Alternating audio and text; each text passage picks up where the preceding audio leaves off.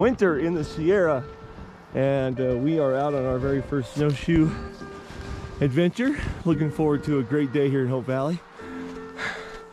We hope you and yours have a Merry Christmas.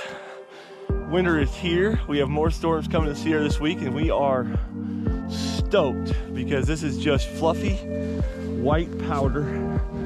Got skiing, snowshoeing, snowmobiles, sledding, you name it. Winter is gonna be here in the Sierra for a while. Hope you and your family can get out and enjoy. My pup uh, is probably a little deep for her today, but I just couldn't leave her at home. So, Dakota, you want to say hi to everybody? You want to say hi to everybody? She's so excited, huh? All right. Merry Christmas, everyone. Happy New Year. Look forward to bringing you more of our adventures this uh, year in 2022. Have a great day.